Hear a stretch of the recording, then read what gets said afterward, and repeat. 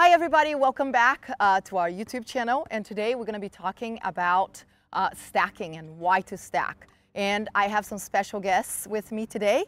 I'm Eddie. I'm Mac. I'm Karen. I'm Mark. All right, so here are some of the, the main reasons why you would want to stack. The number one is if your partner is a lefty, uh, male, female, doesn't matter, mixed doubles, you would want two forehands through the middle because again, that's the largest area on the court and you want to be able to cover there. Uh, the second part is when we play mixed doubles, and usually, again, they target the female. I'm not being sexist. I am a female. I feel like I'm a pretty decent player, but I'm also going to stack because I want to make sure that I'm giving my partner the most opportunity to get involved. And by being on the right side, I allow my right-handed partner to get involved through the middle of the court. Uh, the other part is, is that a lot of the times is, is even when you're playing two males or two females, it's a different look. It's a variation. It's something to give them, again, uh, maybe somebody is not feeling great. Maybe you're not playing that well that day and your partner is feeling great. So why not give them a different look and help out your partner? And it's much easier to get involved when you're coming over with the forehand. Um, and then, and then again, uh, just in general, a lot of people, they like there, I would say maybe your forehand dink is better uh, or your backhand dink is better. And then that is how you set up as a team, you set up much better. So we're gonna be playing some points and we're gonna show you some of the advantages of stacking. Okay, here we go.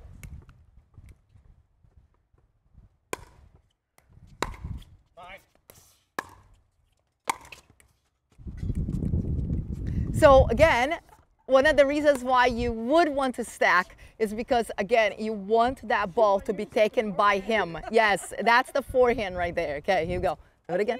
So now you're to stack. Okay.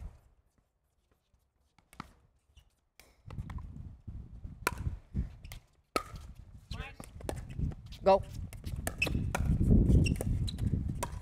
Get up. Yeah. So, okay, so first things first. So why why is it why is one of the reasons why we would stack? If you have somebody that's maybe a little bit more aggressive, has a little bit more reach, or has a stronger forehand, it probably makes sense to have them cover a little bit more of this area here. Good. And and, and it happens that in mixed doubles, a lot of the times, and it's not being sexist, it's just the way it is, that they target the woman, right? So by targeting the woman, if you, you happen to be get stuck on this side, the guy can't really, well, they can, but it's not going to be as effective helping out with the backhand. So if all of a sudden, like let's say Mac, you get stuck over on the side, and now they have this area, you you can't come and help. And now you just feel all alone here trying to stay out of trouble or, or trying to like do something, create something on your own. Where in this case, what you want to do is actually make that area smaller, which then again, most people's forehands are better. We defend better maybe with the backhand, but we attack better and we dink better with the forehand. Okay, as much as you don't think you do, you do. So then again, that's where it becomes that you, you're playing now with two forehands because of the fact that, again, that, yes, so you coming this way to take the forehand and you coming that way. So then it forces, if you want to find a backhand, where do you have to hit the ball? Behind the guy. And the guy can, can ultimately, with that backhand, attack the woman right in front. And if they're strong enough, they can do some damage. Correct. Okay. Now, the other thing too. So when we are serving, okay, and you coming over, a lot of the times the ball gets played through the middle. The return gets played through the middle. If that happens, you have to think that if the woman is going to take it, then what is the guy to do? Where are you going with your third shot drop? To the woman. And then the guy is making himself big and seen and taking over that middle to put a ton of pressure. A lot of unforced errors are not unforced, they're forced by positioning. So meaning that if Mac hits a good third shot drop over there to Karen, and Eddie, you can come and make yourself seen and big. Where are you going? You're gonna try to go really wide, and then all of a sudden, something that becomes really routine for you. You've hit plenty of cross court dinks before, but now all of a sudden you go for a little bit more, and then you make an error. That's not an unforced error. That's a forced by pressure. Okay? Let's do that point again.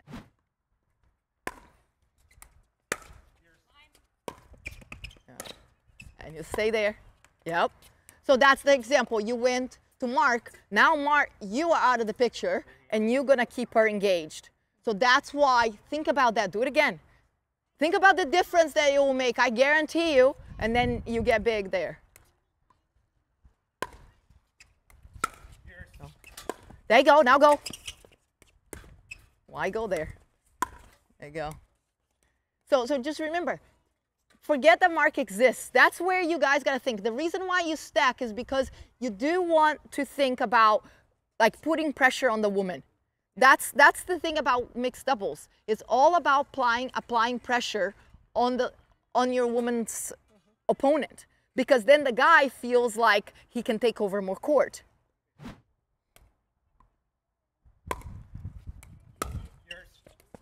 Good. Now put pressure. Stay there. There you go. And finish it. Okay, better. So just realize that then when you guys get the opportunity, I don't care where you attack because now you guys are on defense. But just think about like go there and then put the pressure to finish the point. That's what you're looking to do. Because again, now you have a chance of getting involved. Good. Nice. There you go. Smart. Come on, patience. Yeah. Go. Oh, you had it! That was good. So again, that was a better point in you going this way and getting your chance. That's then again, I, I, know this is when we playing women's doubles. I talk about going down the line. In this case, I want you to lean and go back to Karen's feet. Because remember, who do we want to keep engaged? The woman okay? Because then the, that guy, the guy gets into play as well to finish off the point, or maybe you do, you finish off the point. So when you have the opportunity to be aggressive, like with a third shot, be aggressive and then look to come in behind it. Don't be afraid to to drive a third, especially when you're inside of the court. And then in a sense, like if you have a deep return and you can go make sure that Mac volleys or the, the female volleys, so that way you can apply pressure and you never know what might happen off of that.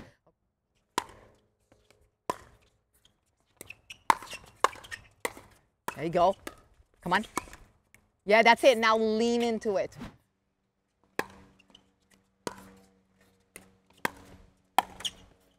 Ooh. Go again.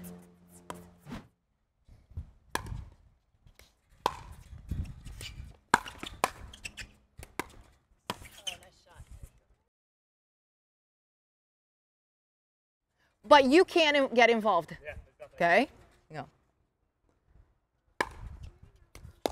Go. Yep. Okay, so I'll stop right there. So that's three points in a row. Okay? So so this is to me, one of the main reasons why you would stack in the return of serve. Okay? When you get into that situation where now it's not that you can't help. You could try, but it would look pretty ugly because now you're coming way over and, and now you might as well do an Ernie. But at this point, you become a target and it feels pretty lonely in there and you guys just feel like you can attack her all day and then put the pressure. And that's like, let's say you get to that point where you three points in a row and you only thing that you've hit so far is the return of serve. And you just feel like you can be the best player that you can be, but at that point you're just like, oh my goodness, it's like this game rely like it's on me now. And you are in that even in that, that odd number, and now you can't get off of it. Let's say you maybe potentially you're up 3-1 and now it's 4-3. This is the time where you call, that's a good time to call a timeout and say, hey, let's do a switch. Let's either stack or let's you know give them a different view because now maybe they stay on thinking they're gonna go down the line, but now you were there to help out. Go. That's good. All of a sudden it's a different view. And now it kind of gets you second guessing because you want to now go back to Mac but they're in the move and you're just like, oh, I got, yeah, it, it does do things mentally as well. And get to your spot, get to your spot and be ready. And you get, yes, perfect, perfect. Because now you're protecting her, but you're protecting yourselves, right? Your team by getting yourself in that position, getting big.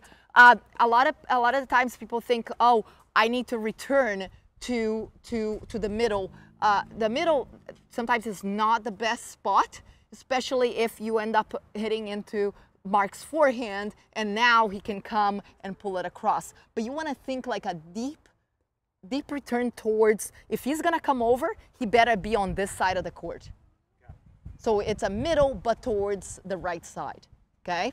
So that would be a really good time to, to stack when you guys are in the odd number and now you're stuck and you can't get out, you can't get the serve back. They're scoring like crazy and you're in the same position, okay? Now there's, there's different ways that you can do it. The other way that you can do it as well, um, which again, I like to do it this way uh, when I'm playing. So, so, so Mac would go out and then Eddie's there. You go, serve it up.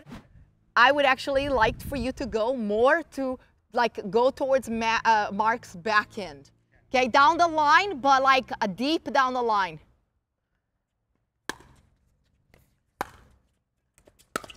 And get there. And I would like for you to like get there and be aggressive with that volley here. Okay, here we go. Do it again. Remember, your goal here is to stay stay in the, the offensive side. Go forward. Go. Go. That's it. Finish it. Good. Better. Okay, so that was that was it. So at that point, by doing that, you guys stayed, it, and again, it ended up going actually to a really good spot, which was your back end. Uh, the last thing that you really want is angle that cross court return because then it opens up, you know, all sorts of angles. But the thing, the thing that you guys did really well in that, in that, that scenario is that you were aggressive on every single shot. So then it enabled, like it, you guys were not able to get a good ball and then get back on offense that to me is one of the biggest things when you are thinking of returning that you want to stay on offense. Okay, they can score, but you have the advantage. Okay, the other thing is we'll talk about signals. So what are, uh, give me an example of what, what are some of the signals that you use? Because there is no set in stone here. You just got to make sure that you and your partner are on the same page when it comes to signals. So what are the signals that you guys use? Um, this for go. For switching, yeah? Yeah. That for stay. And then I learned a new one this week, which fake. Yeah. so I'm gonna go, but I'm not. Yeah, there you go. Okay. And do you have any? Is it the same, uh, pretty much? We have never used the fake, but we've heard about it. there you go. There you go. And again, a lot of the times the reason maybe again is just to give a different look. Is maybe that you pretend that you're gonna go, but then you stay. Uh, so, so again, to review, this is staying, you're staying in the same position. This is you going to switch. Uh, so no matter what, you're switching, uh, unless, unless again, maybe the return went really wide, and now you might, you might want to vocal, you vocally going to say, hey, stay, stay, stay, you know, uh, like we're not going to switch at that point, uh, but you want to make sure that you vocalize it. That, at that point, signal's too late. Uh, and then again, the, the fake one.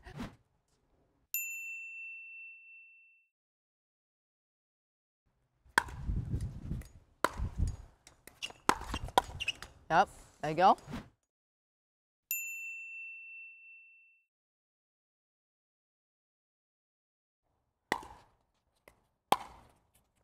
Get up. Yeah, there you go. And also, just, just one thing, always acknowledge that you got that signal. Okay. Say, yep.